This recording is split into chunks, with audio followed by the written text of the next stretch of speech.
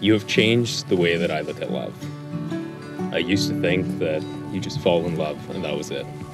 And that was a fairy tale that I yearned for, but I knew that I could never have. But now I see that you don't just fall into love, you commit to it. Love is saying that I'll be there no matter what.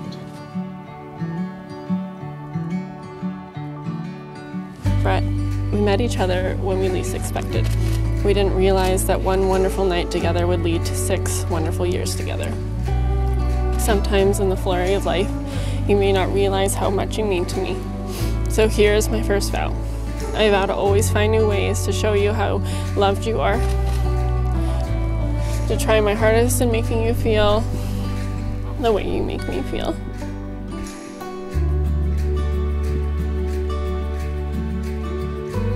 Okay, baby.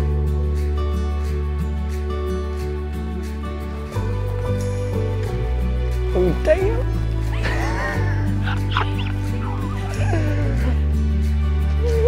you look so good.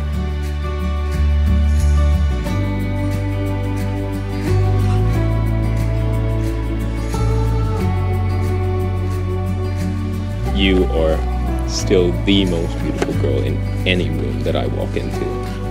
You're kind, you're compassionate, and about a million different things that I need in my life. But I want you to know that today, the way that you love the way you feel, that is how I see you every day. I vow to get lost with you on every hike, every road trip that we go on. Because, baby, you make those ordinary moments extraordinary simply because I'm there with you.